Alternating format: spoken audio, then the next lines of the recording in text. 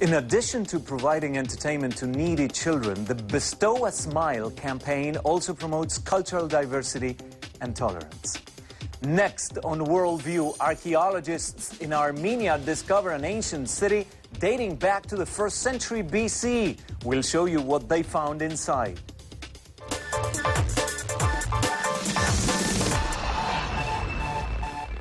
Welcome back to Worldview. In Armenia, a glimpse into the mysteries of the ancient world. Archaeologists have unearthed a city whose rich heritage and former glory are still evident among its ruins. Yerkir Media's Gayane Avetisyan has more. Seven years ago, no one even thought that the triangular shape of the stones up on a hill here in Nagorno-Karabakh could be the gate of an ancient Armenian city of Tigranakert. Archaeologists assume they found the remains of a city built in the first century before Christ by Tigran the Great, the king of the Armenian Empire. We opened the gates of a city up to 4 to 5 meters. It was a huge city with an area of 50 to 60 hectares. There were written records about the Tigranakert of Nagorno-Karabakh or Artsakh starting from 7th, then 10th and up to 18th century. The first citations belong to the historian Sebeos, though its precise location has never been revealed until now.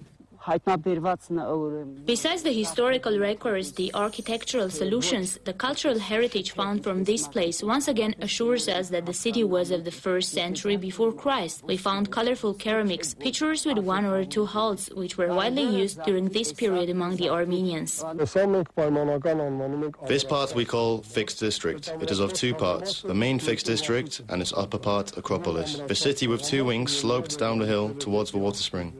The gates were built with Hellenic so-called rustic style, which is translated as village style because of the unshaped outfaces of the stones.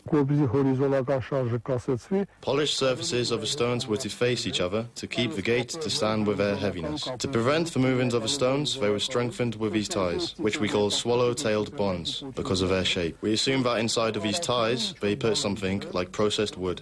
The excavations helped to open some parts of the area surrounding the city. It revealed a Hellenic district, sepulchres, and also a huge Christian church. This is the type of basilic.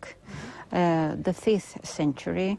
Uh, we have a lot of interesting things that were taken from our excavation. Very interesting stones with the early crosses.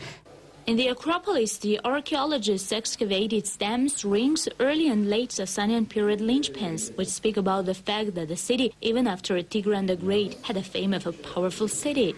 There were at least five major cities built by Tigran the Great. Each of these cities was named after the king. They were located at strategically important parts of the Armenian Empire. That the Tigranakert of Artsakh was a commercial and cultural center. According to the archaeologists, it was built sometime in the 80s before Christ and survived through the 14th century. Gayane Avetisyan, Yerkir Media, Armenia from Nagorno-Karabakh for CNN Worldview.